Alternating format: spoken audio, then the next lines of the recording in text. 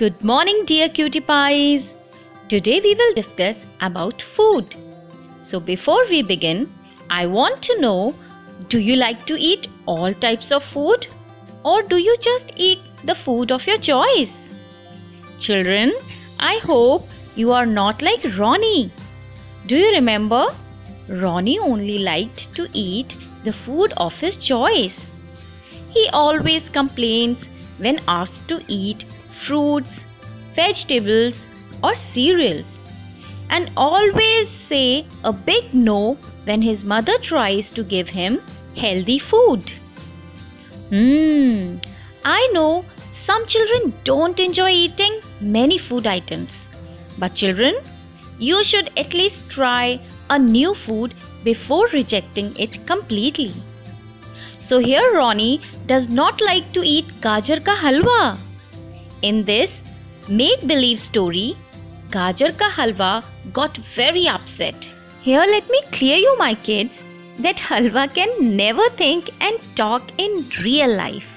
Yes my kids, there is a difference between real world and imaginary world. So this is just an imaginary story.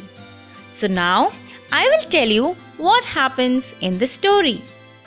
Hmm, in this story, when Gajar ka halwa came to know that Ronnie loves custard apple and did not want to eat Gajar ka halwa at all, it planned to teach Ronnie a lesson.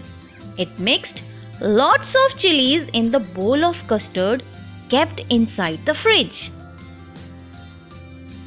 And you know, children, at night when Ronnie was hungry, he went to the kitchen and opened the fridge. There he found a custard bowl inside. The moment he licked a teaspoon of custard, he shouted, Oh my god, it's so spicy! His eyes got watery and his face turned red. Suddenly, he found another bowl of gajar ka halwa there in the fridge. He took a quick bite of the sweet halwa and felt relieved. He found it very yummy. That's how he started eating gajar ka halwa. I hope you enjoyed this story, kids. So, children, it is always important to eat everything that is cooked at home because homemade food is healthy and the person who cooks the food puts in so much efforts. At the same time, we should always be thankful to God for everything we get. Okay, children, bye bye. I will meet you in the next class.